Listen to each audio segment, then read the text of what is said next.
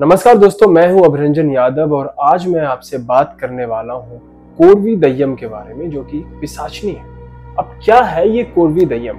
और इतना ज़्यादा इस कोरवी दय्यम का हवा क्यों बन रखा है? खास करके अगर आप साउथ इंडिया के साइड जाओ तो कोरवी दय्यम के नाम से आज भी कई गाँव हैं जो कि कांपते हैं।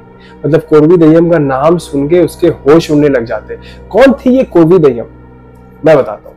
ये कोरवी दयम वो पिचासनी है जिसको जीते ज़िंदगी में उन्हें प्यार नहीं मिल पाया या फिर एक शारीरिक सुख बोल सकते हैं जो इस पिसाचनी को जीते जी में नहीं मिल पाया था। तो अब ये मरने के बाद उस प्यार की तलाश में है। कुर्बी बेगम ऐसे लोगों की तलाश में रहती है जो कि उसे प्यार दे सके और उसके शारीरिक संबंध का सुख उठा सके। दोस्तों, मैं आपको बता दूँ कि ये कोरवी दयम साउथ इंडिया में बहुत ही ज़्यादा फ़ेमस पिसाचनी में से एक है।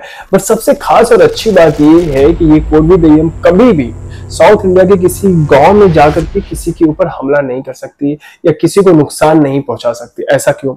ऐसा इसीलिए क्योंकि गाँव में टेंपल बने हुए हैं। और जिस जिस गाँव में वो टेंपल बने हुए हैं, कोरवी दय्यम उस गाँव में एंटर नहीं कर सकती है।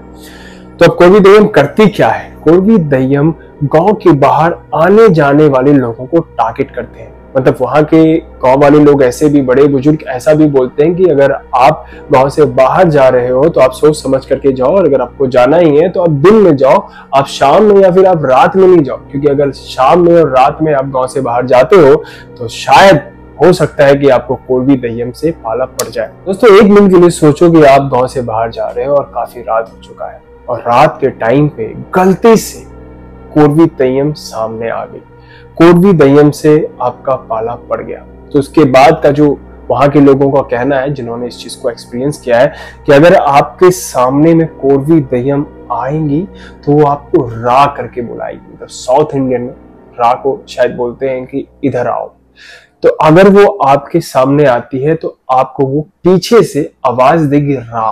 पीछे से इन द सेंस आपको ये भी महसूस होगा, लोगों को ऐसा महसूस हुआ है कि कोरवी दय्यम पीछे से आई है और पीछे से उनको होल्ड किया है, पीछे से उनको पकड़ा है और उसके बाद उन्होंने कहा है, रा। रा इन द सेंस कि तुम मेरे पास आओ। तो उसके बदले में जो लोगों को रिप्लाई देना होता है, वो है रेपू वस्ता।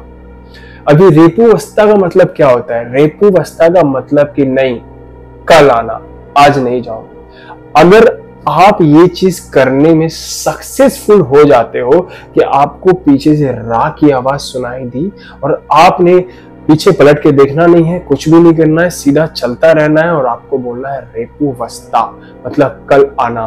और अगर आप ये चीज़ बिना डरे करने में सक्सेसफुल हो जाते हो तो फिर आप वहाँ से निकल करके जा सकते हो। नहीं तो दोस्तों, बहुत सारे साउथ इंडिया में बहुत सारे ऐसे इंसिडेंट हुए हैं कि लोग जाते हैं, उनको मिलती है तो उनको ये यहाँ पे बोलना होता है तो वो उनका पीछा छोड़ देती है और वो चले जाती है। इस उम्मीद में कि कल फिर ये आएगा।